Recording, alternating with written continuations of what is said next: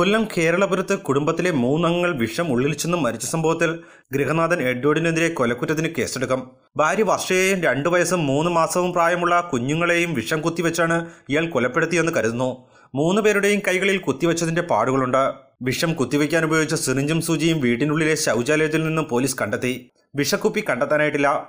കഴിഞ്ഞ മൂന്ന് വർഷങ്ങളായി വർഷയ്ക്ക് മറ്റൊരാളുമായി അടുപ്പമുണ്ടായിരുന്നുവെന്നും ഇതേ ചൊല്ലി വഴക്ക് പതിവായിരുന്നതായും പോലീസ് പറയുന്നു. മൂന്നാമത്തെ കുട്ടിയുടെ പ്രസവത്തിന് ശേഷം വർഷ എഡ്വേർഡിനൊപ്പം പോകാതെ മുഖത്തലയിലെ വർഷയുടെ വീട്ടിലായിരുന്നു താമസിച്ചിരുന്നത്. ദിവസങ്ങൾക്ക് മുമ്പ് എഡ്വേർഡ് മൂത്ത കുട്ടികളെ കേരളപുരത്തെ വാടക വീട്ടിലേക്ക് കൂട്ടിക്കൊണ്ടുവന്നു. ചൊവ്വാഴ്ച രാവിലെ മുഖത്തലയിലെ വീട്ടിലെത്തി വർഷയുടെ മൊബൈൽ ഫോൺ പിടിച്ചു വാങ്ങി പിന്നീട് കേരളപുരത്തെ വീട്ടിലെത്തിയ ശേഷം ഇരുവരും തമ്മിൽ വീണ്ടും വഴക്കിടുകയും മൂന്ന് മാസം പ്രായമായ കുഞ്ഞുമായി വർഷ കണ്ണനല്ലൂർ പോലീസ് സ്റ്റേഷനിലെത്തി എഡ്വേർഡിനെതിരെ പരാതി നൽകി. പോലീസ് എഡ്വേർഡിനെ വിളിച്ചുവെങ്കിലും കോവിഡ് രോഗിയാണെന്നും വരാനാവില്ലെന്നും എഡ്വേർഡ് അറിയിച്ചു. പ്രശ്നങ്ങൾ ഉണ്ടാക്കില്ലെന്ന് ഉറപ്പു നൽകിയതോടെ പോലീസ് വർഷയെയും കുഞ്ഞിനെയും ഓട്ടോറിക്ഷയിൽ കേരളപുരത്തേക്ക് തിരിച്ചയച്ചു. ഉച്ചയ്ക്ക് ശേഷം ഇരുവരും വീണ്ടും വഴക്ക് തുടങ്ങി. വർഷ കയ്യിൽ കിട്ടിയ വടിയുമായി എഡ്വേർഡിനെ അടിക്കാനെത്തി. ഇത് പിടിച്ചുവാങ്ങി എഡ്വേർഡ് വർഷയെ അടിച്ചു അടികൊണ്ട് വർഷ ബോധരഹിതയായി നിലത്ത് വീഴുകയും ചെയ്തു. തുടർന്ന് എഡ്വേർഡ് മൂന്ന് പേർക്കും വിഷം കുത്തിവെക്കുകയായിരുന്നു വഴക്ക് നടക്കുമ്പോൾ മൂത്ത കുട്ടിയും വീടിന് പുറത്തേക്ക് പോയി. എഡ്വേർഡ് ശീതളപാനീയത്തിൽ വിഷം ചേർത്ത് മൂത്ത കുട്ടിക്കും കൊടുത്തു. സ്വയം കുടിക്കുകയും ചെയ്തു. മൂത്ത മകൾ വിഷം കലർന്ന ശീതളപാനീയം കുടിക്കാതെ പുറത്തു കളഞ്ഞു. രണ്ടു വയസ്സും മൂന്ന് മാസവും പ്രായമുള്ള കുട്ടികൾ തന്റേതല്ലെന്ന വിശ്വാസത്തിലായിരുന്നു എഡ്വേർഡ്. മൂത്ത കുട്ടിക്ക് എഡ്വേർഡ് വിഷം നൽകിയില്ലെന്നും പോലീസിന് സംശയമുണ്ട്. വിദേശത്തുള്ള തന്റെ ജ്യേഷ്ഠനെ ഫോൺ ചെയ്ത ശേഷം മൂത്ത മകളെ നോക്കിക്കൊള്ളണമെന്ന് എഡ്വേർഡ് ആവശ്യപ്പെട്ടതായി പറയുന്നു.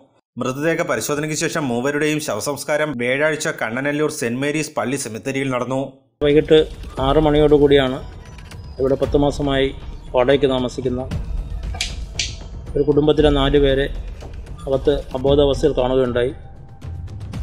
അയൽവാസികൾ വിവരമറിയിച്ചതിനെ തുടർന്ന് ഞാൻ ഞാനിവിടെ എത്തിച്ചേരുകയും പോലീസിനെയും വിളിച്ചു ആംബുലൻസിനെയും വിളിച്ചു. അവരെ നാല് പേരെയും ഹോസ്പിറ്റലിലേക്ക് മാറ്റി. രണ്ട് കുഞ്ഞുങ്ങളായിരുന്നു ഒരു മൂന്ന് മാസം പ്രായമുള്ളയും രണ്ട് വയസ്സ് പ്രായമുള്ളയും രണ്ട് കുട്ടികളും. ഒരു ഭാര്യയും ഭർത്താവുമായിരുന്നു. ഭർത്താവിന് ചെറിയ അനക്കമുണ്ടായിരുന്നു. അദ്ദേഹം മെഡിസിറ്റി ഹോസ്പിറ്റലിൽ ഇപ്പോൾ ചികിത്സയിലാണെന്ന് അറിഞ്ഞു കുട്ടികൾ രണ്ടുപേരും ഭാര്യയും മരണപ്പെട്ടതായാണ് മരണപ്പെട്ടിട്ടുള്ളതാണ്. മെഡിക്കൽ സ്റ്റോർ കുണ്ട്രയിലെ മെഡിക്കൽ സ്റ്റോർ ജീവനക്കാരനാണ്. കാരണം അറിയില്ല ഒരു ആത്മഹത്യക്കുറിപ്പ് പോലീസിന്റെ കൈവശം ലഭിച്ചിട്ടുണ്ട്. കാരണം അറിയാൻ കഴിഞ്ഞില്ല. ഒരു മൂത്ത കുട്ടി ഈ വിഷം കൊടുത്ത പാനീയം കഴിക്കാതെ പുറത്തേക്ക് ഇറങ്ങിയാൽ രക്ഷപ്പെട്ടിട്ടുള്ളതാണ് അതിനെ അവർ അമ്മുമ്മയുടെ കയ്യിൽ ഏൽപ്പിച്ചു വിട്ടിട്ടുള്ളതാണ്. ഭാരത് വിഷൻ കുണ്ടറ